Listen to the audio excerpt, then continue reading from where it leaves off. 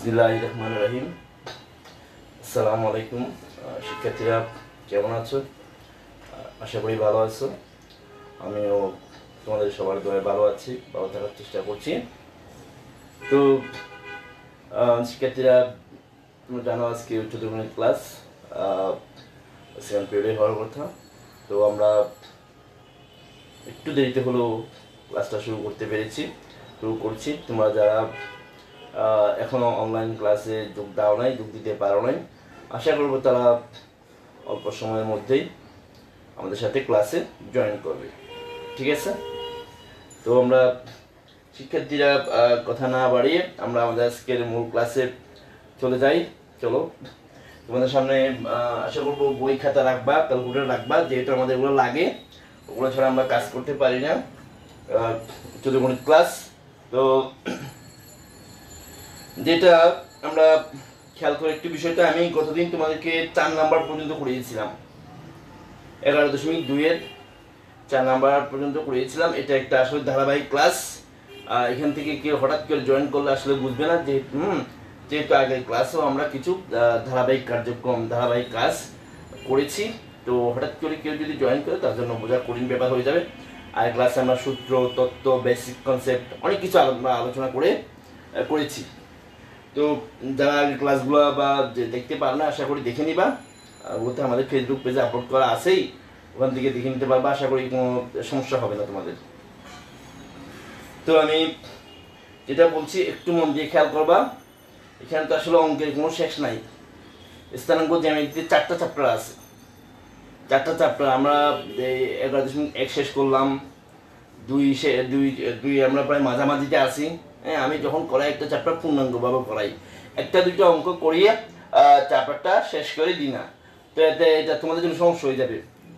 মানে বেসিক জিনিসগুলো, মূল জিনিসগুলো বা প্রবলেমগুলো বুঝতে করতে তোমাদের জন্য সমস্যা হয়ে যাবে। আমি অনেকগুলোই করানোর চেষ্টা করি, সেটা ক্লাসে হোক বা এখানে অনলাইন ক্লাসে হোক। তো একটু মনোযোগ দিয়ে খেয়াল করবা হ্যাঁ। তাহলে দেখো, একটু তিন নাম্বার আর পাঁচ নাম্বার অঙ্কটা কিন্তু সেম তোমরা যদি প্রশ্নগুলো পড়ো, তিন নাম্বার এবং পাঁচ নাম্বার প্রশ্নটা কিন্তু কি? একই রকম। এটার সমাধান প্রক্রিয়া তিন নাম্বার এবং পাঁচ নাম্বার। একটু খেয়াল করলে বিষয়টা বুঝতে পারবা। যেমন, তিন নাম্বারে একটা চতুর্ভুজের চারটা শীর্ষবিন্দুর স্থানাঙ্ক দেয়া আছে। বলা হয়েছে যে চতুর্ভুজটি সামান্তরিক কিনা আমাদের প্রমাণ করতে হবে। পাঁচ নাম্বারে বলা হইল একইভাবে, একটা চতুর্ভুজের চারটা শিশুবিন্দুর স্থানাঙ্ক এ বি সি ডি দেওয়া আছে। বিন্দুগুলো আয়তের ক্ষেত্রে শিশুবিন্দু সেটা আমাদের করতে হবে? প্রুফ করতে হবে। প্রমাণ করতে হবে। ঠিক আছে?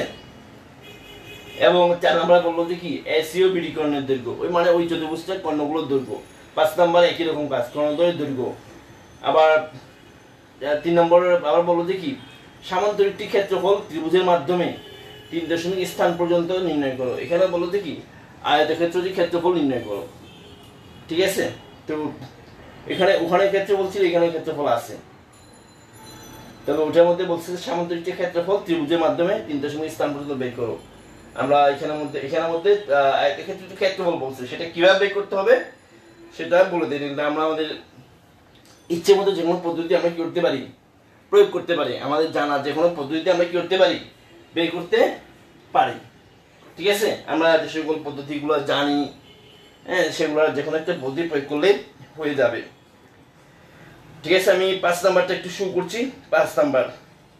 এই ধরনের অঙ্ক আসলে আমরা আগে ক্লাস আগে চ্যাপ্টারও করেছিলাম। তবে, এই যে, এই ক্ষেত্রফল শুধুমাত্র এখানে বাড়তি হিসেবে যুক্ত হয়েছে, ক্ষেত্রফল।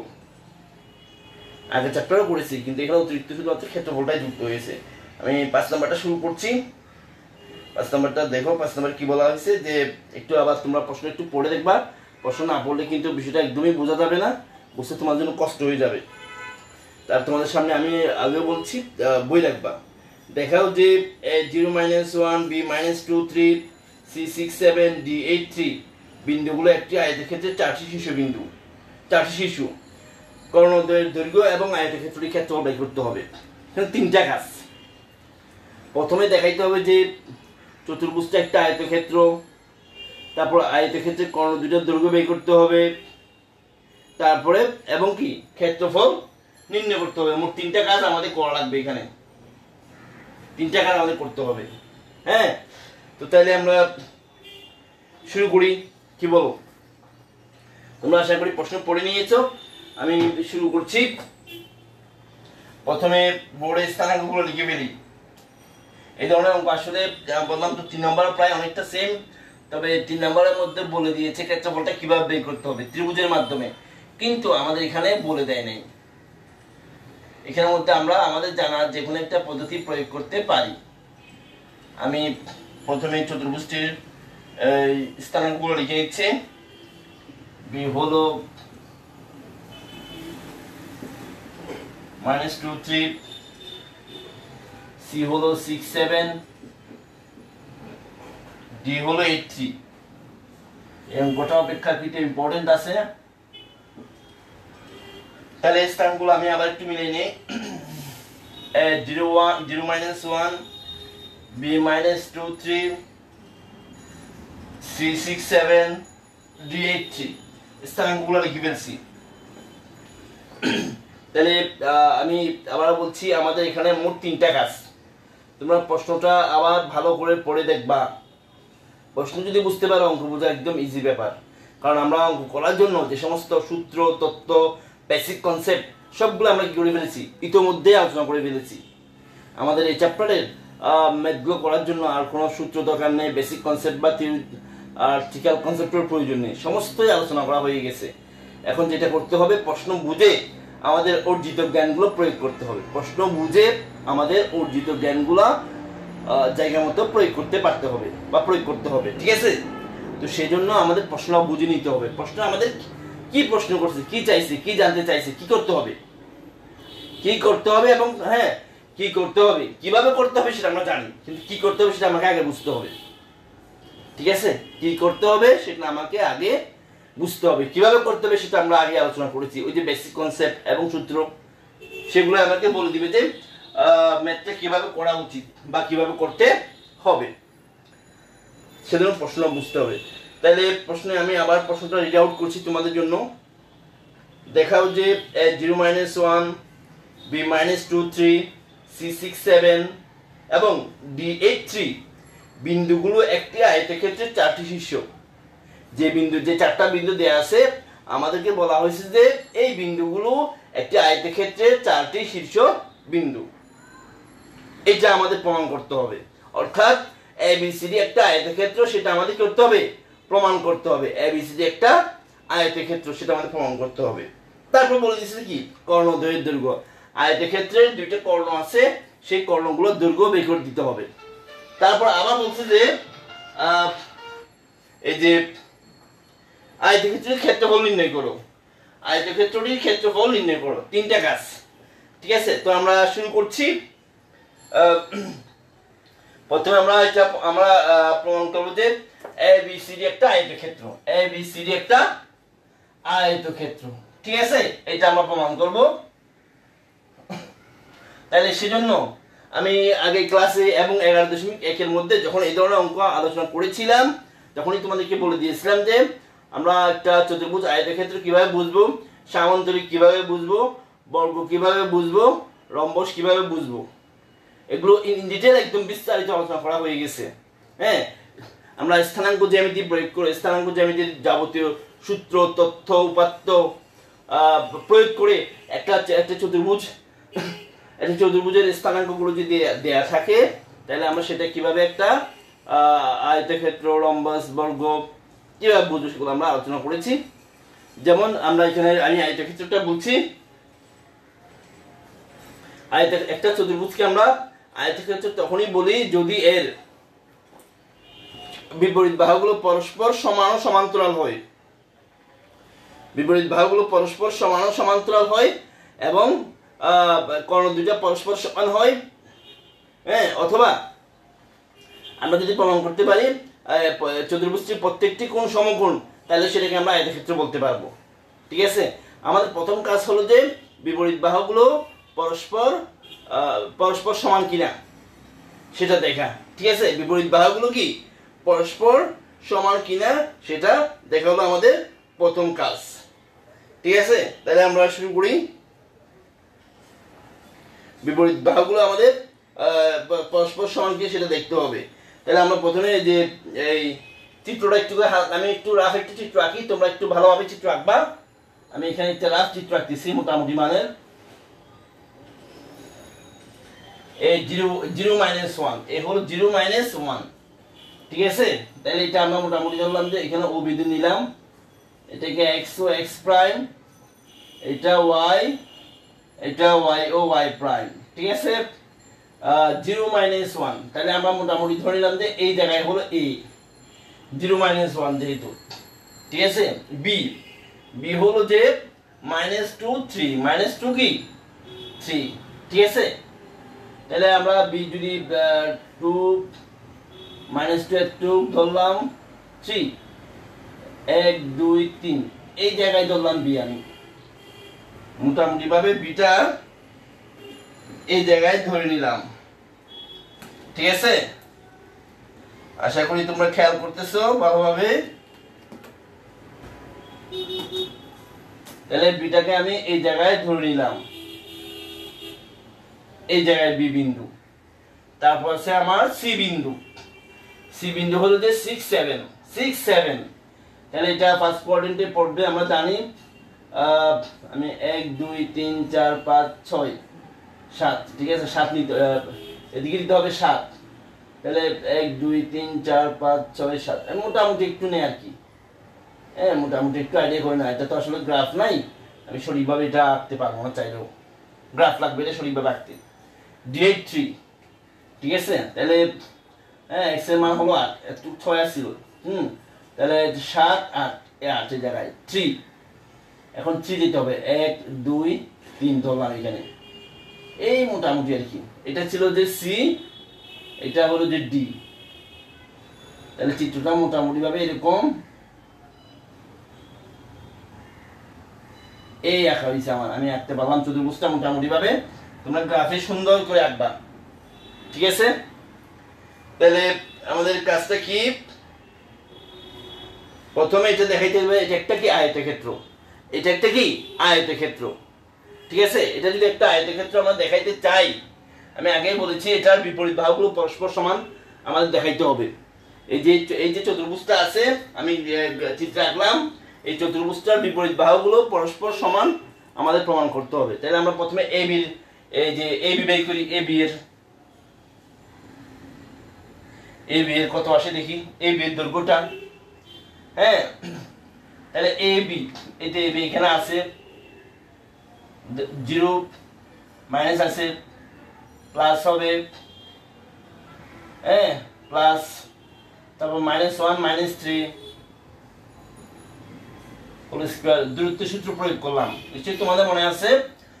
Root over X one minus X two whole square plus Y one minus Y two whole square আমরা ওই দূরত্ব সূত্রটা প্রয়োগ করেছি। ঠিক আছে? দূরত্ব সূত্র দিয়ে আমরা কি? এ এবং বি বিন্দুর দূরত্ব মানে এ বি বের করলাম। তাহলে এগুলো একটু আমরা কাজ করি। জিরো প্লাস টু মানে two two square two square মানে হলো four, minus one, minus three হলো মানে মাইনাস ফোর হবে, মাইনাস ফোর হলো স্কোয়ার মানে হলো সিক্সটিন। রুট থাকবে, that's mean root twenty. Root twenty পাওয়া গেল, এই বির মান।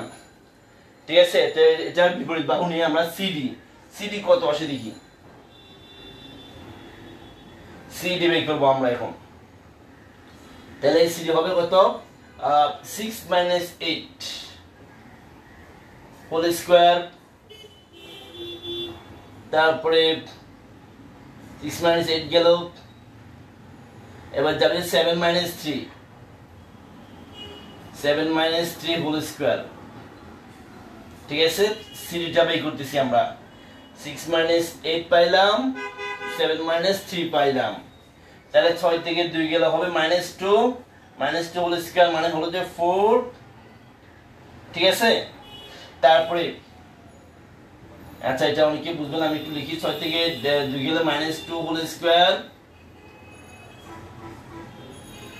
সাত থেকে তিন গেলে হবে চার। মাইনাস টু হোল স্কোয়ার মানে হলো যে ফোর। ঠিক আছে? আর চার চার হলো যে ষোলো। ফোর স্কোয়ার মানে হলো ষোলো। রুট সিক্সটিন তার মানে রুট টোয়েন্টি তাহলে আমরা দেখতেছি যে এই এই যে সিডি বাহু সমান, বিপরীত বাহু দুইটা সমান হয়ে গেছে। তাহলে ডাটাটা আমি একটু এখানে কোথাও লিখে রাখি, আমার পরবর্তী কাজে লাগবে। এ বি সমান রুট টোয়েন্টি সিডি সমান রুট টোয়েন্টি ঠিক আছে, এগুলো মুছে দিই যেহেতু আমার এখানে জায়গা নাই অনেক, আরও অনেকগুলো কাজ করতে হবে। A B C D A B R C by করছে বিপরীত বাহু। আরও দুইটা বিপরীত বাহু আছে না সেগুলো বের করতে হবে। খালি দুইটা বিপরীত বাহু সমান্তরাল হইতে হবে না, হইলে- হবে না। সবগুলা বিপরীত বাহু সমান হইতে হবে। কারণ দুইটা বিপরীত বাহু সমান্তরাল ট্রাপিজিয়ামে হয়। ট্রাপিজিয়ামের ক্ষেত্রে হয়ে থাকে। এবার আমরা এ বি সি ডি যেহেতু নিয়েছি এবার নেব যে এ ডি বিসি ঠিক আছে? এখন তাহলে আমরা এ ডি আর বিসি বের করি। এ ডি আর বিসি থেকে আমরা কি পাই? ঠিক আছে? এডিআর বিসিতে কি পাওয়া যায় দেখো? এডি এই যে এখানে ডি এখানে তাহলে zero minus eight whole square, zero minus eight whole square, তারপর মাইনাস ওয়ান, এই যে minus three. Minus one, minus three whole square.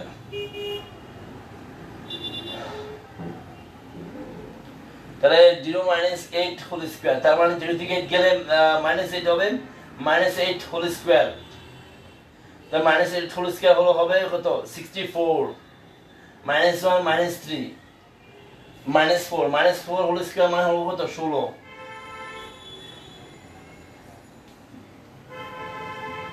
ষোলো আর চৌষট্টি কত আসে দেখো? ছয় চার দশ শূন্য হাত আছে এক। ছয় সাত আট। রুট এইটি এটির মান পেলাম আমরা রুট এইটি ঠিক আছে? এবার বিসি বাই করতে হবে বিসি বিসি তে কত আসে দেখো? বিসি বাহাত্তরকে বাই করতে হবে আমাদের। এটি তো বাই করলাম, এই যে এটা। হ্যাঁ? আমরা এই দুইটার সমান পাই গেছি, এটা আর এটার সমান পাই গেছি। এখন এটাতে কি আসে দেখি, এটা আর এটা। এটিতে ব্যয় করছি এবার বিসিটা ব্যয় করব। বিসি কত আসে দেখো? Minus two minus six whole square plus three minus seven three minus seven whole square ঠিক আছে? তাহলে এই যে মাইনাস টু আর মাইনাস সিক্স তাহলে মাইনাস এইট হোল স্কোয়ার হবে। থ্রি মাইনাস সেভেন মানে মাইনাস ফোর হোল স্কোয়ার হবে। তাহলে এগুলা আমরা এই হোল স্কোয়ারগুলো ভাঙাই ফেলি মাইনাস এইট হোল স্কোয়ার মানে হলো যে sixty four minus whole square মানে হলো যে সিক্সটিন তাহলে sixty four plus sixteen eighteen হবে এইটি রুট আশি। তাহলে আমরা কি কি পেলাম এখানের মধ্যে? এডি এডি পাইলাম যে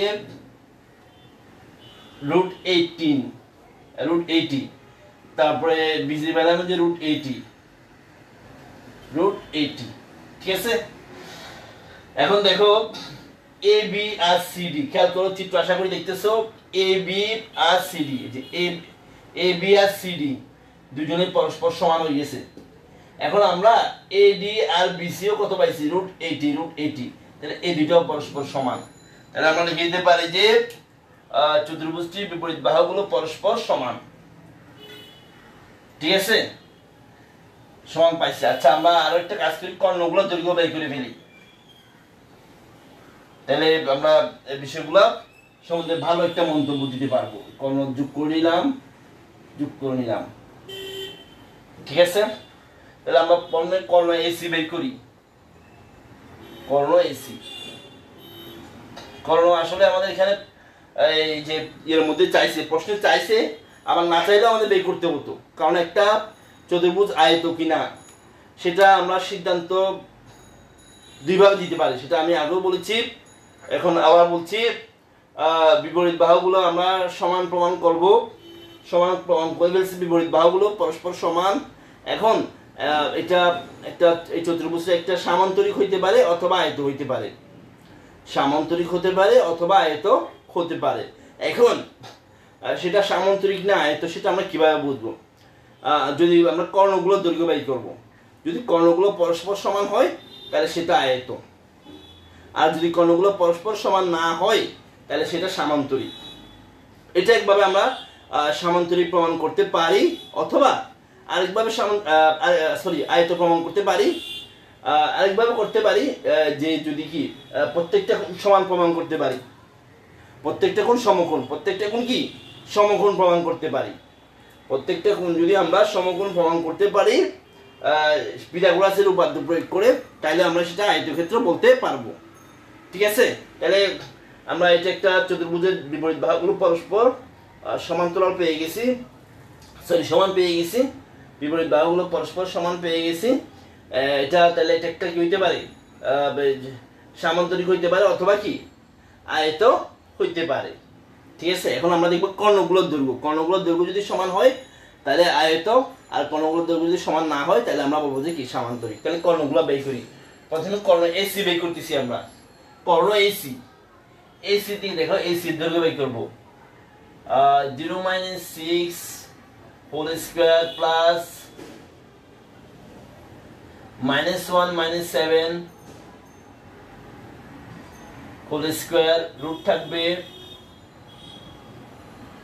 তাহলে জিরো থেকে মাইনাস সিক্স হলে minus six whole square minus six whole square মানে হলো যে থার্টি সিক্স তারপরে মাইনাস ওয়ান আর মাইনাস সেভেন হলো minus eight minus eight whole square মানে হলো যে সিক্সটি ফোর রুট আছে, যোগ করতে হবে এগুলা। তাহলে যোগ করি আমরা। ছয় চারে দশ শূন্য, হাতে আছে এক, ছয় তিন নয় নয় দুই, দশ শূন্য, একশো। রুট থাকবে তাহলে টেন টেন পেলাম। কর্ণ এসির মান কত পেলাম? টেন পেলাম। এবার কর্ণ আমরা বিডি বের করব। কর্ণ বিডি কর্ণ বিডি মান কত আসে দেখি।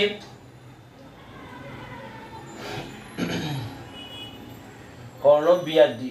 তাহলে আমরা বের করি মাইনাস টু, মাইনাস এইট। এই যে কর্ণ বিআরডি। বিআরডি বিন্দু minus two, minus eight, plus three minus three three minus three.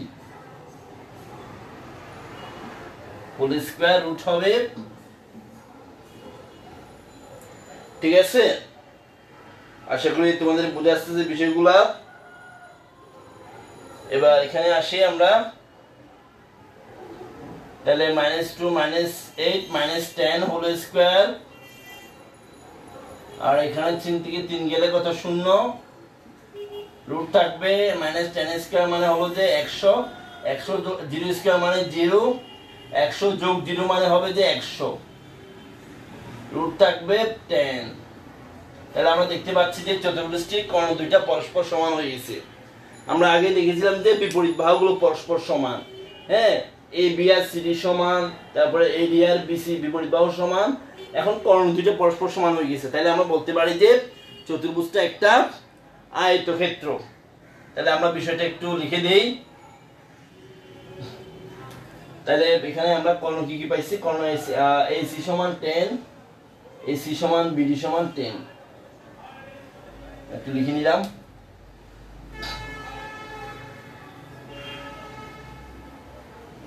লিখে যেহেতু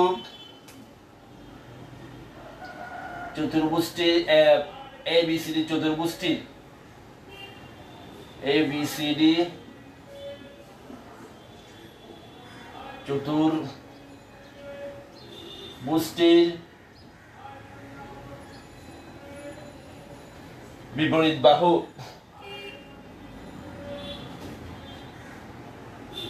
বিপরীত বাহু এ বি সমান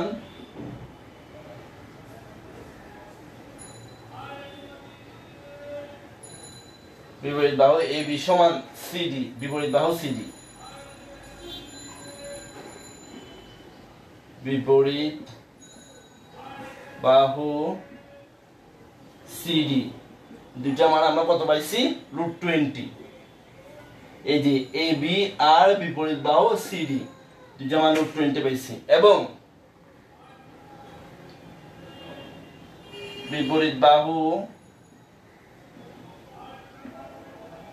আরও দুইটা বিপরীত বাহু রয়ে গেছে। হ্যাঁ এডি আর বিসি এডি আর বিসি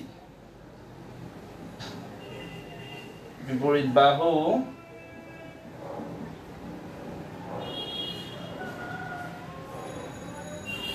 বিসি হ্যাঁ সমান পাইলে হতো রুট এইটি রুট এইটি হ্যাঁ অর্থাৎ বিপরীত বাহু দুইটা সমান হয়ে গেছে। এই চতুর্ভুজটা এ বি আর সি ডি সমান, আর এদিকে এডি আর বিসি সমান। আবার কর্ণদ্বয় কর্ণ কর্ণ এসি সমান, কর্ণ বিডি কত পাইছি আমরা? টেন পাইছি। তাইলে সুতরাং এবিসিডি একটি আয়তক্ষেত্র। সুতরাং এবিসিডি চতুর্ভুজটি আয়তক্ষেত্র। এবিসিডি চতুর্ভুজটি আয়তক্ষেত্র। চতুর্ভুজটি আয়তক্ষেত্র। আয়তক্ষেত্র। তা দেখানো হইল। আমরা একটু দেখাইতে পারছি। তাহলে দুইটা কাজ আমাদের হয়ে গেছে। এ বিসিডি চতুর্ভুজটি একটা আয়তক্ষেত্র সেটা আমরা প্রমাণ করে ফেলতে পারছি। এবং একই সাথে এই দুইটা কর্ণ এসি এবং বিডি দৈর্ঘ্য বের করে ফেলতে পারছি। দুইটা কর্ণের দৈর্ঘ্য বের করতে বলছিল আমাদেরকে। ওই দুইটা কর্ণের দৈর্ঘ্য আমরা বের করে ফেলতে পারছি। ঠিক আছে? এখন আরেকটা কাজ রয়ে গেছে। আয়তক্ষেত্রটির ক্ষেত্রফল। আয়তক্ষেত্রটির ক্ষেত্রফল। ঠিক আছে? এখন আয়তক্ষেত্রের ক্ষেত্রফল আমরা দুইবার বের করতে পারি। হ্যাঁ যেহেতু এটা একটা আয়তক্ষেত্র, আমরা জানি যে আয়তক্ষেত্রের ক্ষেত্রফল সমান দৈর্ঘ্য গুণ প্রস্থ, দৈর্ঘ্য গুণ প্রস্থ।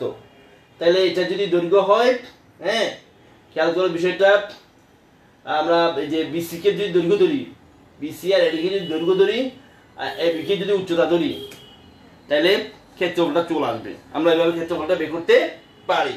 অথবা এই যে আমরা যে সূত্র জানি, ওই সূত্র দিয়ে করে ফেলতে পারি।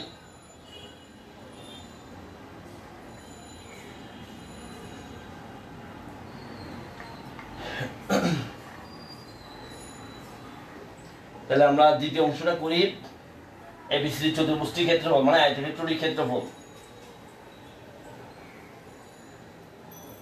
সুতরাং এ বি সিডি আয়ত ক্ষেত্রের আয়ত ক্ষেত্রের ক্ষেত্রফল সমান দৈর্ঘ্য গুণন প্রস্থ।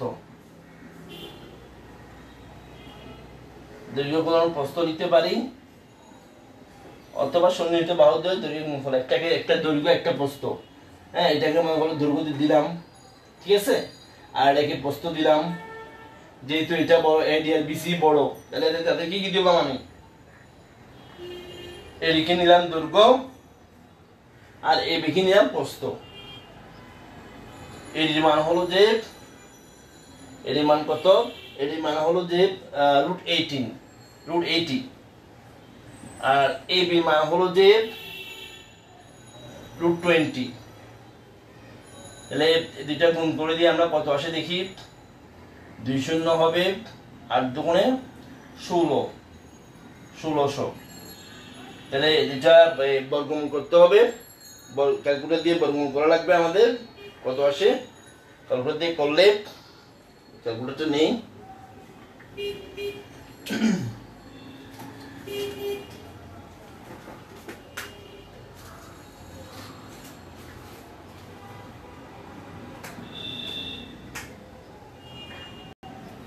ষোলোশো বর্গমূল চারশো আশি। সরি চল্লিশ আসে। ষোলোশো বর্গমূল আছে চল্লিশ। ঠিক আছে?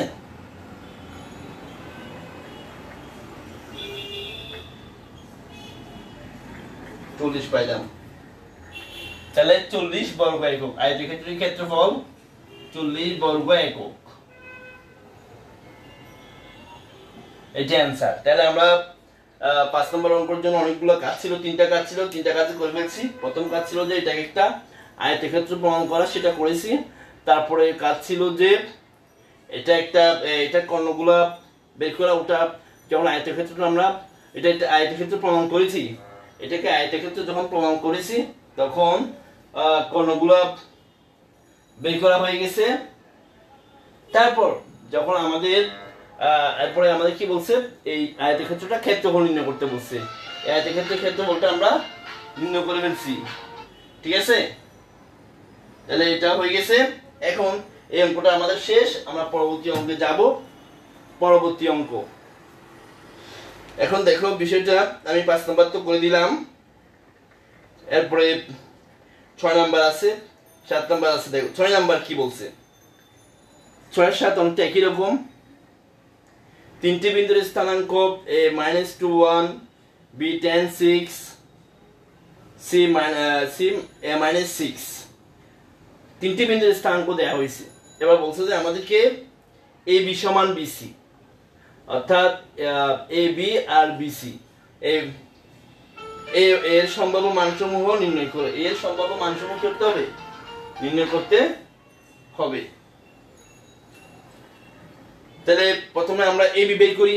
খেয়াল করো প্রশ্নটা একটু পড়ে দেবা ভালোভাবে। প্রশ্ন না পড়লে কিন্তু বুঝবা না। তিনটা বিন্দুর স্থানাঙ্ক দেয়া আছে। সেখান থেকে আমাদেরকে একটা শর্ত দিচ্ছে এ বি আর বিসি সমান। এ বি সমান কি? বিসি ঠিক আছে? তারপর ওই এ বি সমান বিসি, এই শর্তটা ব্যবহার করে এর মান বের করতে হবে। সে মান বের করতে হবে, এর মান বের করতে হবে।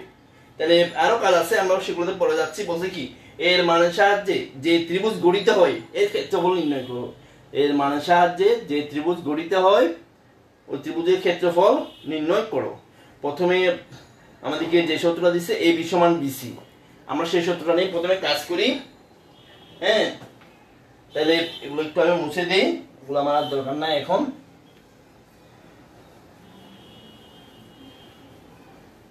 এগুলো মুছে দেবো লাগবে না।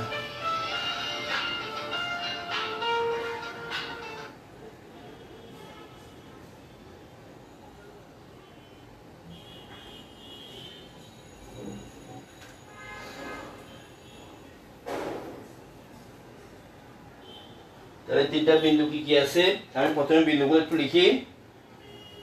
এই এই বিন্দুটা হলো যে মাইনাস টু ওয়ান তারপরে বি বিন্দুটা হলো যে ten six ten comma six তারপরে সি বিন্দুটা হলো যে এ মাইনাস সিক্স এই যে তিনটা বিন্দু A minus two one B ten six C A minus six হ্যাঁ? তিনটা বিন্দু দিয়ে আছে। এবার আমাদেরকে বলছে এ বি সমান বিসি বি সমান কি? বিসি তাহলে আমরা এ বি বের করি। এ বি কি আসে দেখি।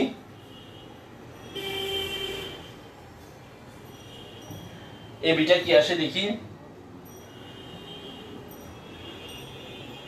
এ বি দৈর্ঘ্যটা বের করি আমরা। Minus two minus ten whole square plus one minus six. আমরা দূরত্ব সূত্র প্রয়োগ করেছি যেটা আগের চ্যাপ্টার আলোচিত হয়েছে আহ, এটা দিয়ে একটু আগে অঙ্ক করেছি। এই বি বের করেছি। Minus two minus ten one minus six. এখন এখানে কত আসে? মাইনাস টু মাইনাস টেন হবে minus twelve whole square plus one থেকে সিক্স গেল minus five whole square root থাকবে টুয়েলভ হোল স্কোয়ার মানে হলো যে ওয়ান ফোরটি ফোর প্লাস আর মাইনাস ফাইভ হোল স্কোয়ার মানে হলো যে টোয়েন্টি ফাইভ রুট থাকবে যে আমরা যোগ করি, কত আসে দেখি? চারে পাঁচে নয়, চারে দুয়ে ছয় one root root one sixty nine one sixty নাইনের বর্গমূল হলো যে থার্টিন মানে তেরো। ঠিক আছে? তাহলে আমরা এ বি মান পেলাম, এবার বিসিটা কত আসে দেখি। আমি বিসিটা এদিকে হিসাব করছি। যেহেতু এ বি সমান বিসি আমাদের একটা সম্পর্ক দেয়া আছে সেই সম্পর্ক ব্যবহার করে আমরা এর মানটা বের করব। এই বি সমান কি দেয়া আছে? বিসি তাহলে বিসিটা আমরা একটু হিসাব করি। Ten minus A whole square তারপর এখানে হবে যে প্লাস সিক্স মাইনাস নিচে plus six plus six whole square root থাকবে, আমরা এই সূত্রগুলো এখানে ভাঙিয়ে ফেলি এমআরএস হোল স্কোয়ার হ্যাঁ? সূত্রগুলো ভাঙিয়ে ফেলি ভাঙিয়ে ফেলি কি পাবো? টেন স্কোয়ার মানে একশো বিয়োগ two into ten into A plus A square six plus six মানে হলো যে বারো, আর বারো স্কোয়ার মানে হলো যে একশো চুয়াল্লিশ। রুট আছে রুটটা থাকবে। এখানে একটু আমরা একটু যোগ বিয়োগ করে নিই। ঠিক আছে? একশো আর এখানে একশো চুয়াল্লিশ। তাহলে আমরা নিতে পারি যে দুশো চুয়াল্লিশ।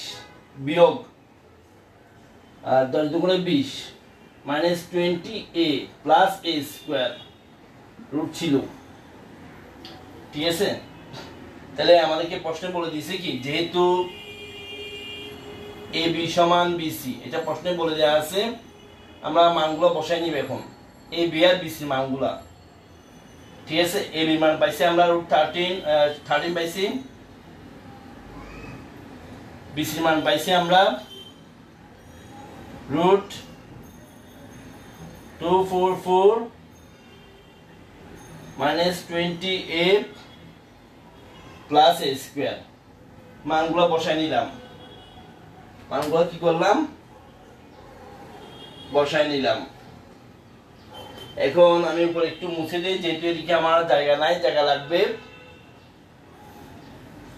ঠিক আছে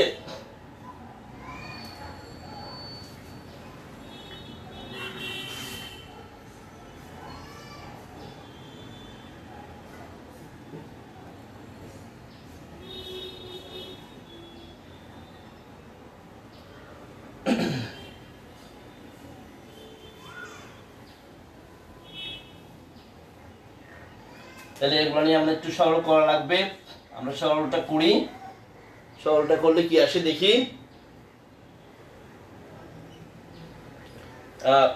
উভয় পক্ষে প্রথমে বর্গ করি দিই। উভয় পক্ষে যদি বর্গ করি থার্টিন স্কোয়ার মানে হলো যে ওয়ান সিক্সটি নাইন আর এই পাশে বর্গ করলে স্কোয়ারটা চলে যাবে। তাহলে two four four minus twenty A plus A square পাশে অবশ্যই লিখবা, বর্গ করে ঠিক আছে? এখন এগুলা সব, এগুলাকে আমরা এটাকে পাশে নিয়ে যাই। ঠিক আছে? ওয়ান সিক্সটি নাইনকে পাশে নিয়ে গেলে পাশে হবে জিরো। আর এই পাশে পাবো যে আমরা square minus twenty A plus two four four minus one six nine ঠিক আছে? আমরা একটু সাইডগুলো চেঞ্জ করে ফেলি। জিরোকে এই পাশে পাঠাই এদেরকে এই পাশে নিয়ে আসি। পার্শ্ব পরিবর্তন করব। এটা পক্ষান্তর নয়। পক্ষান্তর করলে চিহ্ন পরিবর্তন হয়। এখানে আমরা চিহ্ন পরিবর্তন এখানে চিহ্ন পরিবর্তন হবে না। ঠিক আছে সাইড চেঞ্জ করব। এগুলোকে সবগুলো এই পাশে নিয়ে আসব জিরোকে এই পাশে পাঠাই দিব।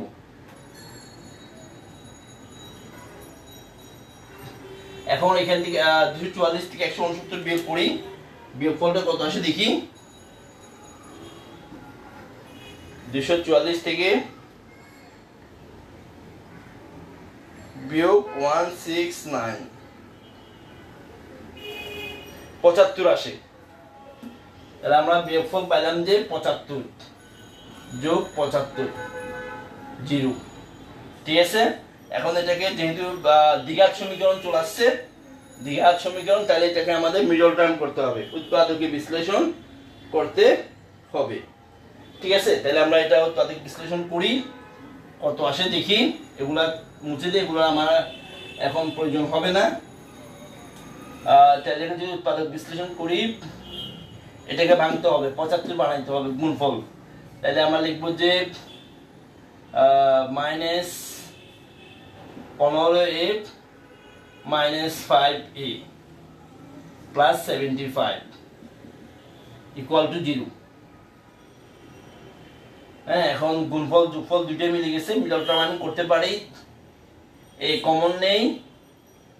এই কমন নিলে এখানে থাকবে এখানে থাকবে ফিফটিন এখানে মাইনাসে কমন মাইনাস ফাইভ কমন নেই।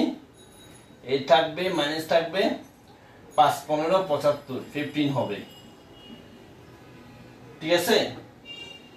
এটা হলো বিষয়। এ মাইনাস ফিফটিন তারপরে এখানে হবে যে এ মাইনাস ফাইভ সমান জিরো। মিডল টার্ম করলাম।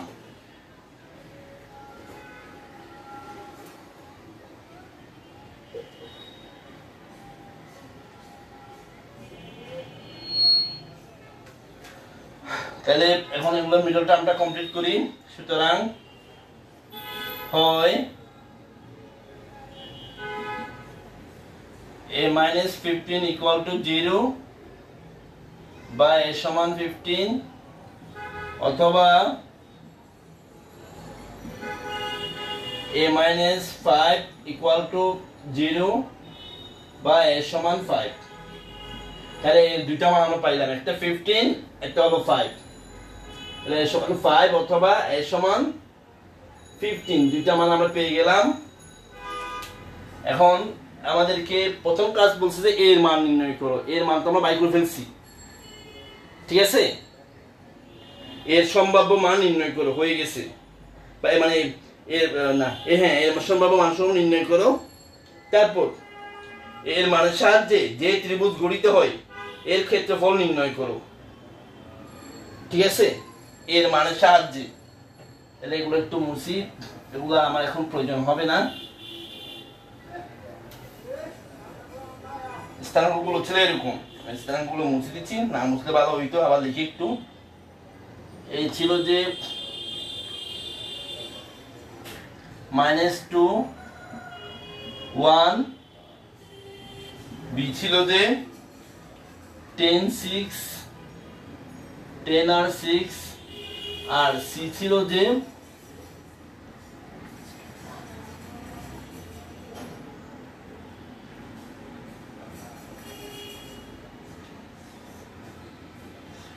A minus 6 হ্যাঁ, এখন বলছি হুম, এর মানে সাহায্যে যে ত্রিভুজ হয়, এর ক্ষেত্রফল নির্ণয় তো দুটো মান পাওয়া গেছে। এটা ফাইভ পাওয়া গেছে, একটা পনেরো পাওয়া গেছে। এর আমরা দুইটা মান পেয়ে গেছি। ঠিক আছে, একটা ফাইভ একটা পনেরো। তাহলে এই সমান, আমরা প্রথম ফাইভ নিই। এই সমান ফাইভ হলে এই সমান ফাইভ হলে স্থানাঙ্কগুলো হবে এরকম। A minus two one B ten six C five minus six এই তিনটা বিন্দুর স্থানাঙ্ক আমরা পেয়ে গেলাম। এগুলোকে আমরা একটু গ্রাফে বসাই। বোঝার জন্য কারণ গ্রাফে বসাইতে হয়। গ্রাফে একটু করে দেখা নিতে হয়। দেখা নিলে ক্ষেত্রফল নির্ণয়টা ঠিকঠাক ভাবে আসে। কারণ যেহেতু ক্ষেত্রফল নির্ণয় করার সময় আমাদের স্থানগুলো ঘড়ির কাটার বিপরীত দিকে নিতে হয়। তা তোমরা জানো, বলেছি আমি আগের ক্লাসগুলোতে, আমি মোটামুটি একটা গ্রাফ আঁকছি। A minus two one A minus two one ঠিক আছে? তো এক, দুই, আমি একটু ধরলাম যে এ এটা। তারপরে বি টেন সিক্স দশ গোল, ছয় গোল। তাহলে দশ গোল দশ গোল তো অনেক বড় হবে। যাক, আমি মোটামুটি ভাবে তাহলে একটু ধরলাম। টেন সিক্স দশ গোল এদিকে ছয় গোল এক, দুই, তিন, চার, পাঁচ, ছয়, এই মোটামুটি একটু ধরলাম আর কি। এটা হলো বি তারপরে সি সি হলো five six five minus six হ্যাঁ ফাইভ এক, দুই, তিন, চার, পাঁচ, এই একটু পাঁচ নিলাম আর কি, পাঁচ। ফাইভ মাইনাস সিক্স তাহলে এক, দুই, তিন, চার, পাঁচ, ছয় একটু ধরলাম সি, এটা। তাহলে ত্রিভুজটা আমরা পাচ্ছি যে এরকম এরকম, এই যে এরকম এ বি সি এটা বি খেয়াল করো। এখন আমরা যদি ত্রিভুজটা ক্ষেত্রে বের করতে চাই, স্থানাঙ্কগুলো অবশ্যই গড়ি কাটা বিপরীত দিকে নিতে হবে। কারণ গড়ি কাটা বিপরীত দিকে নিলে ক্ষেত্র ক্ষেত্রফলটা ধনাত্মক আসবে। আর গড়ি কাটা বিপরীত দিকে না নিলে ক্ষেত্রফলটা ঋণাত্মক চলে আসবে। ঠিক আছে? তো আমরা দেখো, অবশ্যই চিত্র দেখতে পাচ্ছ তোমরা। আশা করতেছি আমি আমি যদি স্থানাঙ্কগুলো নেই, ক্ষেত্রফল বের করার জন্য, তাহলে কীভাবে নিতে হবে। বি এ সি ভাবে নিতে হতে বা সি বি এ অথবা A C B A B C নিতে পারব না। এ বি সি নিলে গড়ি কাটার দিকে হয়ে যাবে, খেয়াল করো। এ বি সি নিলে গড়ি কাটার দিকে হয়ে যাবে, তখন ক্ষেত্রফল ঋণাত্মক হয়ে যাবে। আমাদের নিতে হবে যে এরকম বি থেকে বি এ সি নিতে পারব, অথবা সি বি এ অথবা এ সি বি সুতরাং ত্রিভুজ হ্যাঁ এই সিবি এর ক্ষেত্রফল এর ক্ষেত্রফল সমান হাফ, নিশ্চিত তোমাদের মনে আছে, আমরা এই যে নির্ণয় দিয়ে করব, হাফ। হ্যাঁ? তাহলে হবে আমাদের এ এ থেকে শুরু করতে হবে। এ সি বি অথবা সি বি এ অথবা বি এ সি আমি এ থেকে শুরু করছি। গড়ির কাটার বিপরীত দিকে গড়ির কাটার বিপরীত দিকে। এদিকে নিলে গড়ি কাটার দিকে হয়ে যাবে। হ্যাঁ? ডান দিকে নিলে গড়ি কাটার দিকে হয়ে যাবে। ক্ষেত্রফলটা তখন ঋণাত্মক চলে আসবে। আহ, তো সেটা ঠিক হবে না। আমরা তাহলে প্রথমে এ নিব। এ হলো মাইনাস টু ওয়ান তারপর হলো সি এই যে সি এরপরে সি নিব। গড়ি কাটা বিপরীত দিকে সি সি হলো যে ফাইভ মাইনাস সিক্স তারপরে বি বি হলো টেন সিক্স ঠিক আছে? বি নিছি, এখন আবার এ নিতে হবে। এ সি বি এ নিতে হবে। এই ছিল যে মাইনাস টু ওয়ান এটা সূত্র মোতাবেক তোমরা জানো, অবশ্যই। তাহলে নির্ণয়টা একটু বাঙাইতে হবে। তোমার নিশ্চয়ই জানো, এটার সাথে এটা। এগুলো আগে দেখানো হয়েছে ছয় দুগুণে বারো মাইনাস মাইনাসে প্লাস আবার এখানে প্লাস হবে পাঁচ ছয় তিরিশ। আবার প্লাস হবে, এবার এটার সাথে দশকে দশ। তাহলে এই এই সাইকেলটা শেষ হয়ে গেল। এই চক্কর শেষ। এই সাইকেল শেষ। এবার এদিকে। এদিকে দিলে আবার তোমরা জানো বিয়োগ করতে হয়। পাঁচ অঙ্কে পাঁচ। বিয়োগ। এটার সাথে ছয় দশের ষাট। হ্যাঁ ছয় দশম ষাট। মাইনাস আছে মাইনাস মাইনাসে প্লাস হয়ে যাবে। এই যে দিকে এবার আবার মাইনাস এটার সাথে গুণ। ছয় দুগুণে বারো মাইনাস আছে মাইনাস মাইনাসে প্লাস হয়ে যাবে। এই গুণন প্রক্রিয়া শেষ করলাম। কেন যোগ বিয়োগ করে কত আসে? তোমরা একটু ক্যালকুলেটর দিয়ে করি, আমাদের হাতে করতে সময় বেশি লাগবে। আমি ক্যালকুলেটর লিখতেছি তোমরা ক্যালকুলেটর লিখবা। বারো যোগ তিরিশ যোগ দশ বিয়োগ পাঁচ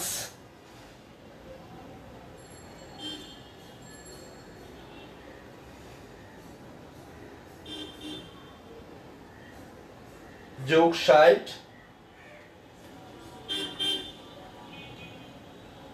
যোগ বারো।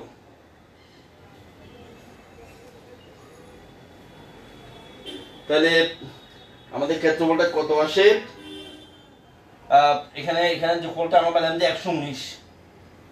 একশো উনিশ গুণন একশো উনিশ। বা এটাকে আমরা একবার এভাবে লিখে ফেলতে পারি একশো উনিশ ভাগ দুই। ঠিক আছে?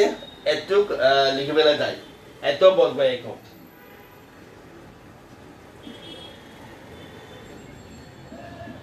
এই হলো কথা। তাহলে একটু হইলেও আমরা এই সমান যদি ফাইভ হয় এই সমান যদি ফাইভ হয় তাইলে চতুর্ভুজটার এই যে খেয়াল করার বিষয়টা এর সমান যদি ফাইভ হয় ত্রিভুজটার ক্ষেত্রফল আমরা পেলাম যে একশো উনিশ ভাগের দুই বর্গ একক। ঠিক আছে? মানে দুই ভাগের একশো উনিশ আর কি, যাক। তাহলে একটু গেল, এগুলো মুছে দিই। এখন যদি এর সমান পনেরো হয়, এই যে এর সমান আরেকটা মান আছে না এর সমান হলে পনেরো। সেক্ষেত্রে এখানে পরিবর্তন করে দিব আমরা। কিছু পরিবর্তন আছে, এই যে এখানে পনেরো হবে। ঠিক আছে? এই সমান পনেরো। তাহলে এখানে পনেরো হবে। এখানে চিত্রের মধ্যে চিত্রটা একটু কি যাবে? সমান যেহেতু পনেরো হয়ে গেছে, তাহলে সি বিন্দুটা একটু এদিকে চলে যাবে আর ওইদিকে চলে আসবে। এই বিন্দু তো এই বিন্দু বি বিন্দু ঠিক আছে। শুধু সি বিন্দু পরিবর্তন হয়েছে। ফিফটিন মাইনাস সিক্স ঠিক আছে? তাহলে পনেরো ঘর নিতে হবে। পনেরো ঘর মানে এদিকে অনেক দূর যাবে। তা আমি ধরে নিলাম যে এই জায়গায় আছে। ঠিক আছে? পনেরো ঘর ধরলাম যে এই জায়গায়। তাহলে ত্রিভুজটা হবে যে এইরকম এইরকম। ঠিক আছে? চিত্রটা এঁকে নিলাম। এখন এখানে তো বিন্দুগুলো বসাই নিচ্ছি। মাইনাস টু ওয়ান তারপরে সি এরপরে সি সি হলো ফিফটিন মাইনাস সিক্স তারপরে বি বি টেন সিক্স তারপরে আবার এ এখন এগুলো একটু আমি কাজ করি, নির্ণয়টা ভাঙাই। ভাঙাই কত আসে দেখি আগের মতো মাইনাসে মাইনাসে প্লাস ছয় কোনো বারো, যোগ ছয় পনেরো নব্বই, যোগ দশকে দশ। এটা গেল। এই চক্র শেষ। এবার এদিকে এদিকে এগুলোতে মাইনাস দিতে হয়, তোমরা জানো, পনেরোকে পনেরো। মাইনাস ছয় দশে ষাট। কিন্তু এখানে যা মাইনাস আছে, মাইনাস মাইনাসে প্লাস হয়ে যাবে ষাট। আবার মাইনাস ছয় দোকানে বারো। এখানে একটা মাইনাস আছে, মাইনাস মাইনাসে প্লাস হয়ে যাবে বারো। আর নাইন এবার এগুলো একটু যোগ যোগ বিয়োগ করে নিতে হবে। যোগ বিয়োগ করলে কত আসে দেখি আমি ক্যালকুলেটর দিয়ে করে ফেলি সরাসরি। হাতে করতে অনেক সময় লাগবে। আর ভুল হয়ে যেতে পারে। বারো যোগ নব্বই যোগ দশ বিয়োগ পনেরো যোগ ষাট যোগ বারো। একশো সাতষট্টি এসেছে, ঠিক আছে?